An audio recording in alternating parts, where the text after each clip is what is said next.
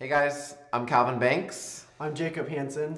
and this is hashtag Helix. So we took questions from Twitter users, and Alex is going to be reading them to us. Wonderful. Uh, first question is from at Awbride. How tall does a bird have to be for you to be afraid of it?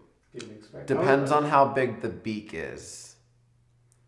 Probably three foot for me. If it was like a three foot tall pigeon, just with no beak at all, Less that'd be threatening. t- more terrifying to Less me. threatening. Yeah, well, think about pelicans have really big beaks. You can put stuff in there. and it, the bigger that gets, the scarier it gets. But like a chickadee, no, I'd fuck it up.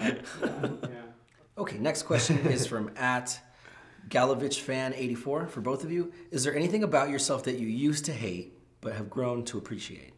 I don't know how to. You go first. Um, I used to not like my hair, so I used to cut it off short. Way back long ago when I worked for Helix, I had a really short haircut because I was just I didn't take care of it. I didn't do anything with it. I didn't care about it. It was not something that I'm proud of. And now I'm like, Let the curls fly. Yeah, yeah. I love it. I'm about it. before like I fully came out, I used to like hate myself for like being, being gay? Yeah, and I would like I would wear like the straightest clothes and after I don't know, like something in my head just said screw it and I really just became who I wanted to be. Be loud and proud. Yeah. And then Wow, that's deep. yeah, and then That really bummed us out, Jacob. Just kidding. thanks. No, that's like that's, That's like actually- that's actually one of the most like important things for like kind of all gay men to realize and to come to terms with because there still are some people out there who do hate themselves for being gay. Um, How old you were should, you should be you- proud that you can be loud and proud. Yeah. yeah, some people will never have that. I know it's How old were you when you accepted your gayness, Calvin? Ooh, I put on a pink thong at the age of four, so like, it's always been It been was never a doubt. it's always been there. Yeah, it's pretty much been like, and I'm really lucky. I have like the best support system of family and friends, so I was comfortable to come out, and I didn't feel the need to because I've always been gay, and I wasn't really bullied for it until I like, and then I like owned it. I became like the gay kid at school, and it was, I think it helped me. You came out in, during high school? Um, junior high, but it was high really? school that I really like like took hold of the title. I'm like, yeah, I'm the gay boy, and I was starting to get a little bit prettier, so like the popularity just kind of like I, I had fun. I feel that. okay, next question is from at Francis Mastro MJ for both of you. What's your favorite movie? Titanic for me. Ha- hands down, I love the romantic. I don't know. I'm a sucker. Oh, that's emotional. I Okay. know, I'm deep. Um, I'd do top three, and it would be Disney movies, and it'd be Mulan, Hercules, and Atlantis. Okay, I like that. I've never seen either of those. Any of those. That's a terrible loss. Okay, next question is from at Joel underscore Sloot. What uh, what was it like on the very first day that you did porn? Okay. Yours wasn't too long ago. No, it wasn't. It was like Slippery. Pretty, uh, pretty fresh in the head. Yeah. Uh, well, from the time of me getting on the airplane, I know my heart was like throbbing. I'm like, oh my god, what the hell am I getting myself into? And after I got everything, everything was set up for the film, and me and Josh Brady were just sitting there talking like normal. Honestly, everything felt natural, almost like natural sex. Um, Josh was a total sweetheart too.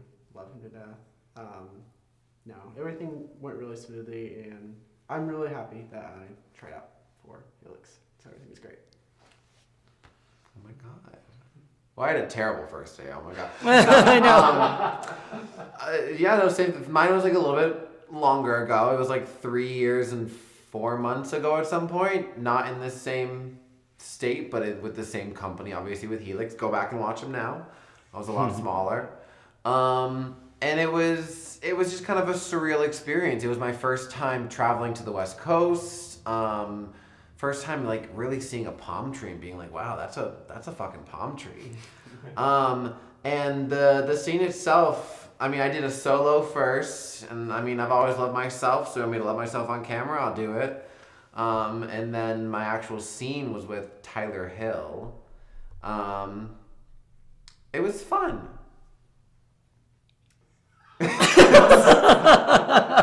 I love it. It was fun. It was I was I was a brand I was brand new. I wasn't I didn't really know who I was as much sexually. So really? it was a really learning experience. Like I've grown so much in the past 3 years to where I am now. If you compared my scene, my first scene with you guys to what like we're gonna film or the things I've filmed in the past year or so, it's just like there are things that are similar about it, but it, I'm I'm still like a completely new performer. I really like figured out my flow. You always So- seemed really confident to me, right? Like right away. I was like, "You've never done this before?" And you're like, "Yeah, no." I was just Oh. sexual from a very young age. And I have a long tongue Yes, it does. and a big dick. Next question is from at rerun again. Uh, what's your favorite? What's your go-to for cologne? And what's your idea of a perfect date? Well, I actually wear Hollister, just like the normal Hollister cologne that they have. Um, Yeah, but Yeah. what's the name? It's just called Hollister. Holster what? Does it just say like it's regular? literally just called Hollister. Does it just say regular It's just regular like on the it? glass bottle. Like I don't think it has a name. It's just like the. Mm, It sounds made up to me. Okay, and then my romantic date would have to be probably a picnic on a beach. I've always wanted to do that. I haven't had the opportunity to do It's it. messy. Well, I'm gonna, Sand I'm gonna gets make that everywhere. happen. Sand and I'm I'm gonna make that happen. Just use a blanket. Yeah, or something. I'll figure it out when the time comes. Um, I my favorite is Gucci Guilty. I've gone through like three bottles. Um, and perfect dates. I don't know. There's a lot of perfect dates. There's a lot of places you could go. A lot of things you could do. I I enjoy a nice dinner. I enjoy a movie. Just anywhere where you can make if it's. I don't know if it's a good date. It's just. I don't know. I, I guess I was going under like first date impressions, so I want to be able to get to know the person. But I guess just like someone you already know, a perfect date. I used to have a list. Picnic on the beach. See, No, I'm gonna have, you- a, I'm, gonna, I'm gonna have a picnic in a field, and then afterwards we're gonna go to the beach, and we're gonna watch the sunset at the beach. Maybe afterwards we'll go see a movie, um, or a comedy show. Oh, that's a good one. Yeah, Yeah. because then you're not like like a movie. It's like it's less movie- dark. Yeah, exactly. Like it. Like Like you do that im- at the end when you run out of things to talk about. Okay, next question is from at rrgirl69. Calvin, I'm so glad you're back. Heart, heart, heart. What's the sexiest thing a partner can do for you? um, they can let me know that what I'm doing is good. Communication has always been key, and if I like what you're doing, I'm going to tell you. If you like what I'm doing, let me know so I can continue doing it ideally. Or stop if you don't like it. So, communication. Uh, next question is from at Aloha Mar Love for both of you. Is there a TV show or book or video game that everybody seems to love but you just can't get into? yeah, for me it would definitely be Games of Thrones. What? All, all of the Game Um, of Thrones. I'll cut the Yes. cameras. We're gonna have to let you go. I uh, watch a little bit and I just cannot get into it. I mean, maybe if I just watch a little bit more, I don't know. But for me, it's just not a go. Not a not a go for me. Sorry. Um, hi, Mary. I love you. Um, I love Game of Thrones. I don't know what he's talking about. Um, I love all fantasy things. So all the things I watch are fantasy. The things that I would get, I guess, tend to not get into. I guess are like Breaking Bad or like Sons of Anarchy. People talk about a lot. Never actually seen. Um, I read a lot. I watch a lot. Fantasy though, y'all know that.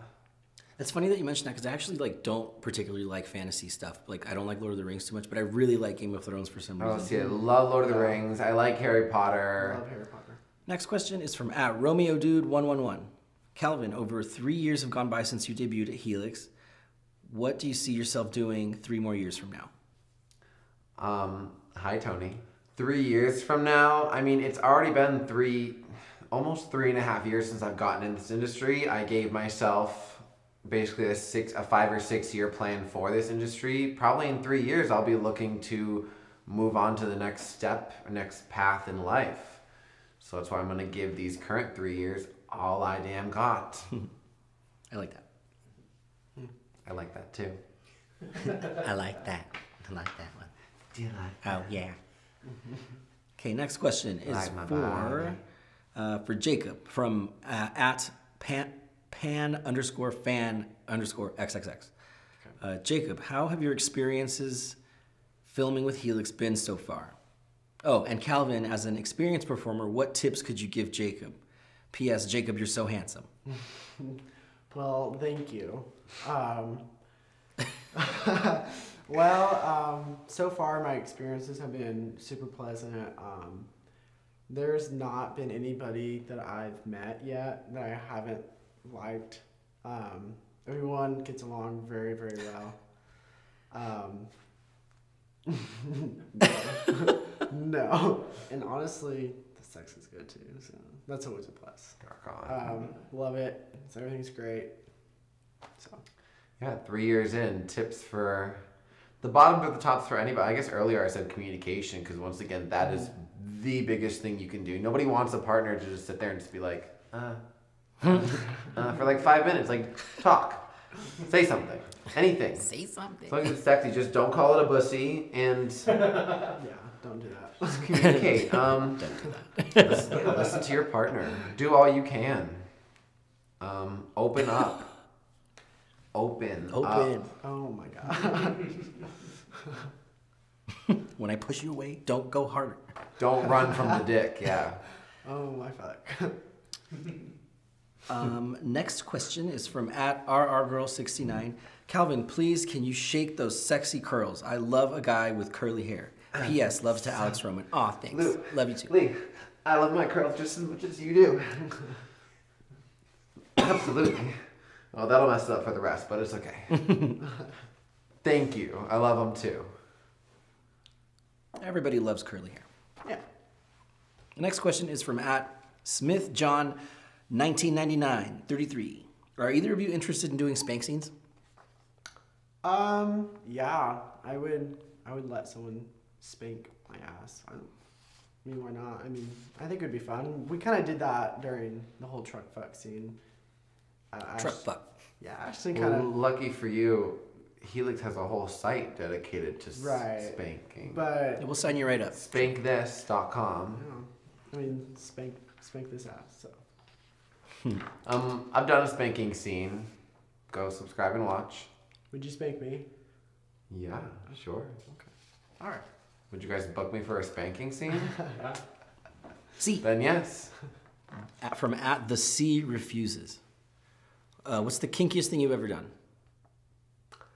Oh, mm, well, I mean, I one time let a guy tie me down, and he pretty much he got to do a lot.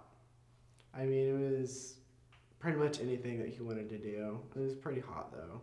Oh god, I feel so vanilla sometimes because like I've watched some crazy ass porn. I think about the really kinky shit that some people do, and it's not me. Um, aside from like like I am dominant, I've peed on someone before. I just like good sex, and I can I can accomplish that via not the kinkiest means. I let my my everything else do the. Uh, next question is from at 33 limb 3 for both of you guys. What's your favorite place on your body to be kissed? And then request for request for them to kiss that part of each other's body. Okay, cool, yeah. Um, my favorite part for me to be kissed would have to be my neck for sure. I don't know. I'm a sucker. what about you? Go for it. Okay.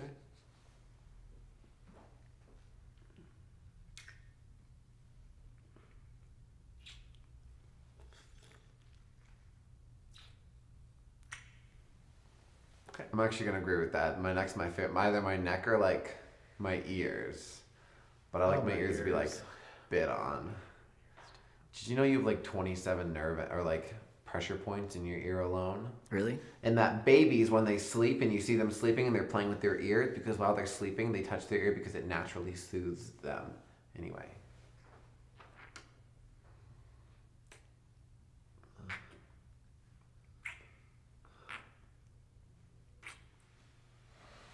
Okay, request time. From at Twink Backup, a request for Jacob to try to deep throat Calvin during the scene. Okay. Cool. he'll, he'll give it his best shot. He'll think about yeah. Yeah, I, I think I can handle it. Next uh, request. It's uh, two people requested this actually. At born ten born ten years too early. Can we see an upside down kiss? Miss C.J. Willis says, "Can you do, guys do the Spider Man kiss?" Spider Man.